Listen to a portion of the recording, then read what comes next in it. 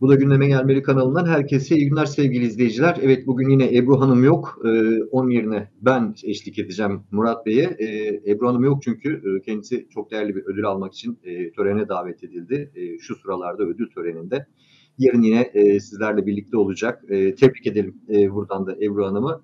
E, yine gündem çok karışık. Gerçekten karışık. Yani yoğunluğu bir kenara bırakalım. E, bunları tartışacağız. Kiminle? Başkent Ankara Strateji Enstitüsü Yönetim Kurulu Başkanı ekonomist Murat Sururi Özbülbül'le. Murat Bey hoş geldiniz tekrar.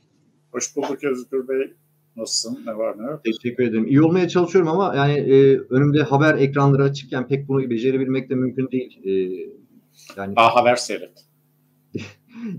direkt daha 10 dakika önce benzine zam duyurusu yapıldı. Gece yarısından itibaren gelecek olan zam. E, artı yarın tekrar geleceği söyleniyor. E, yani bu artık günlük 1 lira, 1,5 lira, 1 lira, 1,5 lira böyle her gün nur topu gibi e, benzin zammımız oluyor.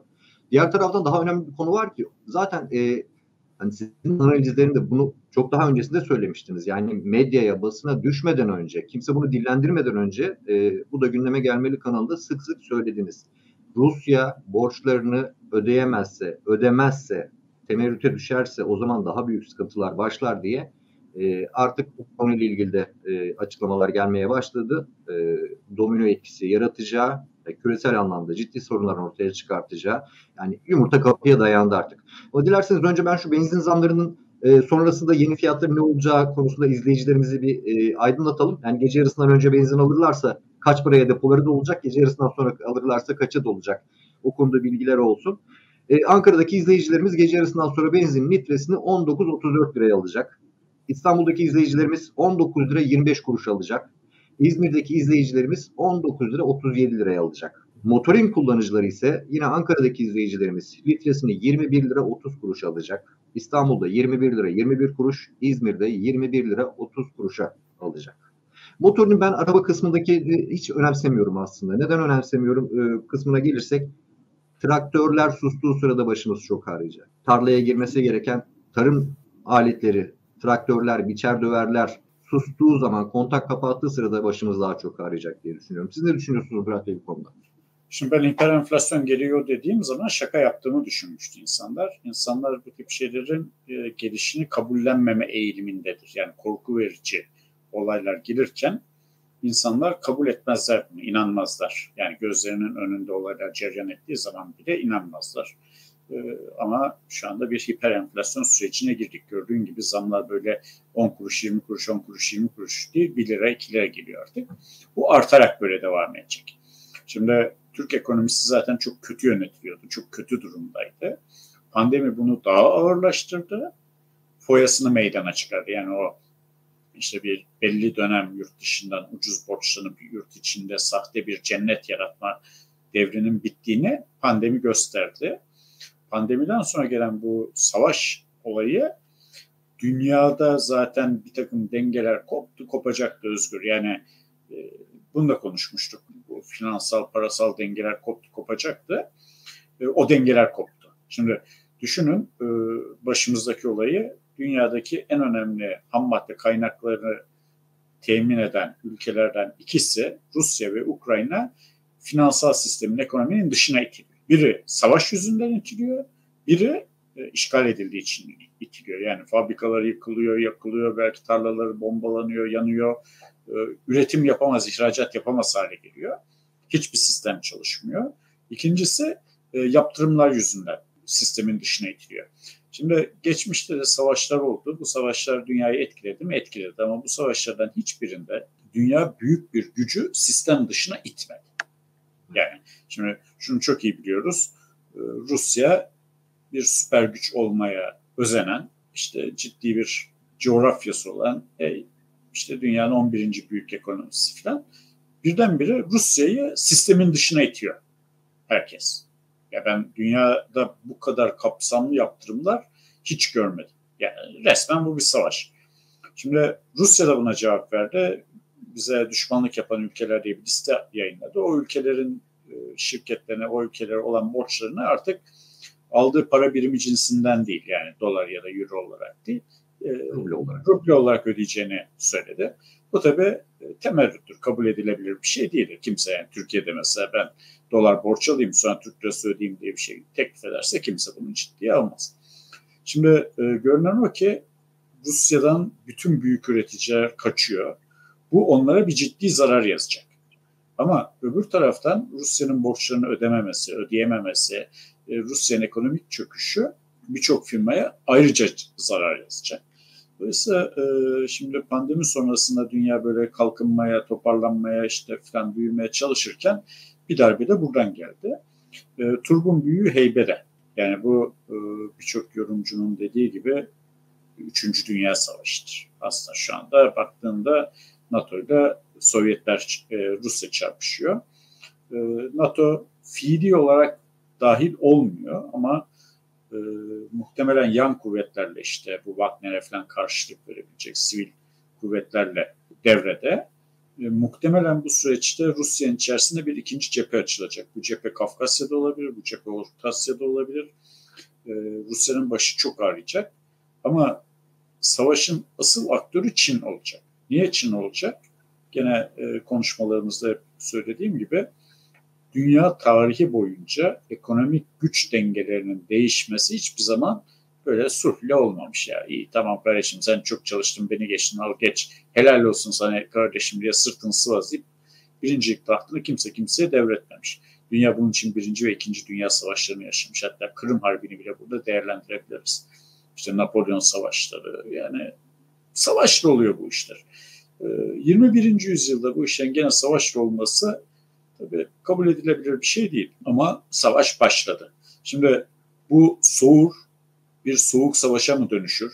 Ki büyük ihtimalle böyle olacak. Yani %70 ihtimalle Rusya'nın ağır yaptırımlarla yıpratıldığı, e, Rusya'da yarı işgal edilmiş direnen bir bölgede böyle kent savaşlarının, sokak savaşlarının sürdüğü bir soğuk savaş dönemi yaşanabilir. Bu iyi olasılık. Kimse şunu hayal etmesin. Yani Ruslar girecekler, Ukrayna'yı işgal edecekler, Zelenski'yi devirecekler. Ondan sonra e, kendilerine kukla bir yönetim kurup keyfini sürecekler. Böyle bir şey yok artık. Yani e, böyle bir şey olasılık dahilinde değil. Rusya'nın Ukrayna'yı işgal etse bile Ukrayna'ya hakim olması mümkün değil.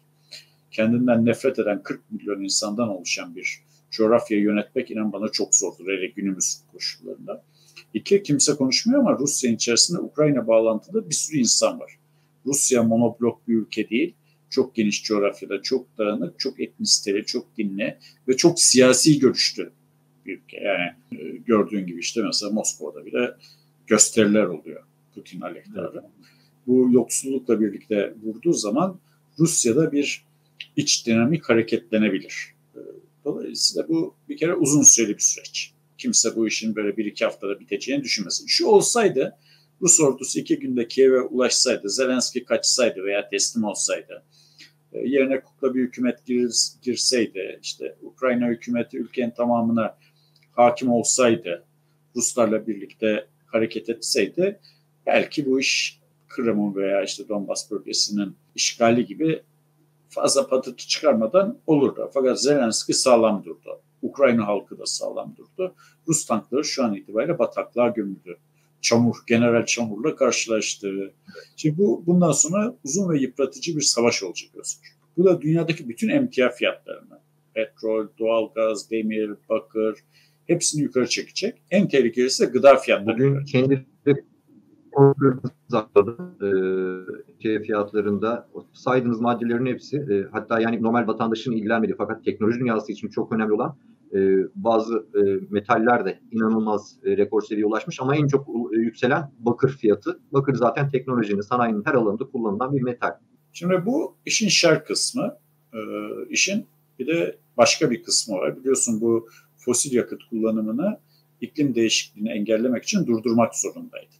Ve buna razı olmayan ülkeler vardı. Bu savaşta ne kadar etkili oldu bu ondan emin değilim ama şimdi Rusya'nın fosil yakıt kaynakları tedarikinde sıkıntı çıkarması veya e, sıkıntı çıkarmaya zorlanması neticesinde yeşil enerji gelişecektir. Yani yeni ve yenilenebilir enerji kaynakları e, çok büyük bir hızla, inanamayacağınız bir hızla gelişecektir.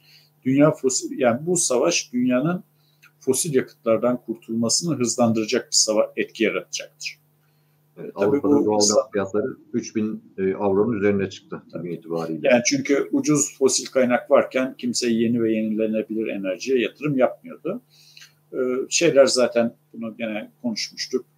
Fosil kaynak üretip satarak geçim e, gelir sağlayan ülkeler fosil kaynakları için yeni yatırım, yeni arama faaliyetleri falan yapmayacaktır. Yani satamayacakları bir kaynağı niye arasınlar? Dolayısıyla ikisi el ele gelince petrol fiyatlarında böyle 180 dolarlı falan rakamlar konuşuluyor. Kur da artıyor içeride. İkisi bir araya ikisi bir araya geldiği zaman Türkiye'de böyle 20 dolar 20 liralık rakamlar bile çok arayacağımız günler yakın. Zaten e, her gün uzaklaşıyoruz onun üzerine. Yani bugün söylediğim bu gece yapılacak olan. Yarın yayını açarken de Ebru söyleyecek yarınki yapılan zammı. E, yani e, onun da miktarları belli. E, birisine 60, birisine 1 civarında e, bir yeni güncelleme fiyatı beklenilen bir rakam var.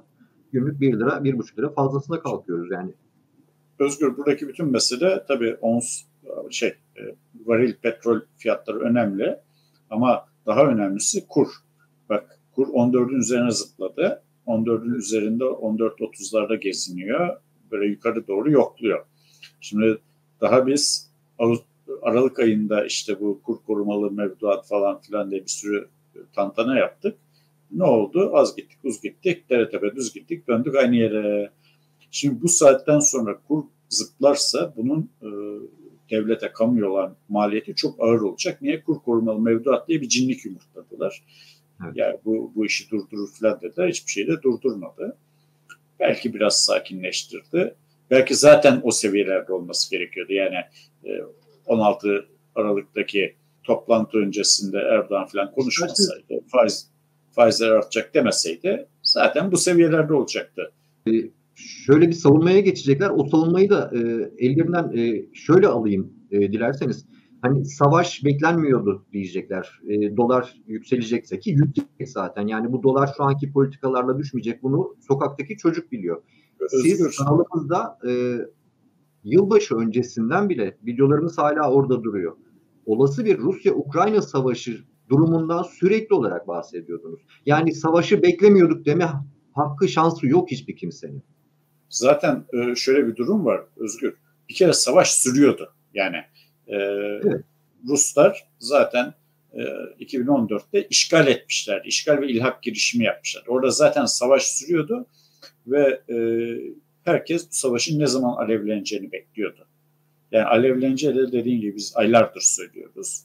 E, hatta Amerika Birleşik Devletleri Başkanı da ya Rusların gireceği tarihi bile verdi. Ve dediği tarihte girildi. Dolayısıyla Aynen. ülkeyi yönetenler ya biz bekle, beklemiyorduk. Sürpriz oldu şu bu filan demesinler. E, hiç öyle bir şey yok. Zamanında gerekli tedbirlerin alınması gerekiyordu. Evet. Yarın yeni zamlarla uyanacağımızı söyleyerek e, kapatalım bugünkü yayınımızda. Zaten izleyiciler artık her gün e, bence dolara bakmayı da bıraktılar. E, dolar kaç oldu diyerekten. Benzin kaç oldu, mazot kaç oldu. E, Ayçiçek yağı kaç oldu. Ayçiçek yağı kaç oldu diye. E, yani Temmuz'a kadar stoğumuz varmış. E, belli olacak. Yani Mart sonuna kadar stoğumuzun ya bırak Allah aşkına Özgür bir ay sonra e, ne olacağını OVP'de göremeyen adamlar Temmuz'a kadar stoğumuz olduğunu nereden görüyorlar? Artı 5 litre yağın fiyatının geçen sene bu zamanlarla şu anki arasındaki dağlar kadar uçurumun olmuş olması bile e, yani açıklanması gereken bir konu. Bu hiper enflasyon, e, daha doğrusu hiper enflasyon seviyesine yaklaşmak diyelim. Ben Ebru'nun kanalında Türkiye 3 haneli enflasyona savruluyor diye neredeyse bir yıl evvel söylemiştim. Evet. Yani belki evet. bir yıl değilse bile ona yoldu. O zaman yok canım hocam olur mu falan diyorlardı. Ve oldu. Sık sık tekrarladınız zaten bunu. Ve bu daha e, Şubat enflasyonu açıklandı. Şimdi insanlar Mart enflasyonunu hadi bakayım onun tahminini yapsınlar. Yani Şubat enflasyon rakamları açıklandı. En alın TÜİK'in e, açıkladığı rakamlar ortada. Onun üzerine benzini ve motorine sadece bu sene yapılan zam miktarı benzinin geçen seneki litre fiyatı kadar. Ve bu, geçen sene benzinin litre fiyatı kadar zam geldi. Bu dalga dalga bütün mal ve hizmetlere yansıyacaktır. Yani sizin hizmet üretmeniz fark etmiyor. E, personeliniz gidip gelirken araba kullanıyor. Yani benzin, mazot her şeyin temel e, girdisi. Yani elektrik, enerji dediğimiz şey elektrik, akaryakıt, doğalgaz. Bu üçü zam gördü mü o zam neyse bütün üretilen olarak. mallara yansır. Çok teşekkür ederim Murat Bey. Ee, yarın Ebru Hanım'la e, Yani keşke daha güzel rakamların olduğu bir şeyler çekebilsek diyeceğim ama e, şu an... Ebru'yu da tebrik ediyoruz bu arada. Yarın canlı yayında kutlarız. Evet, Ebru'yu da tekrar tebrik edelim. Yayında aynen yarın e, bir de fiziksel olarak tebrik ederiz, iletiriz. Yarın görüşmek üzere diyorum. Çok Görüşmek teşekkür ederim. Tamam, hoşçakalın.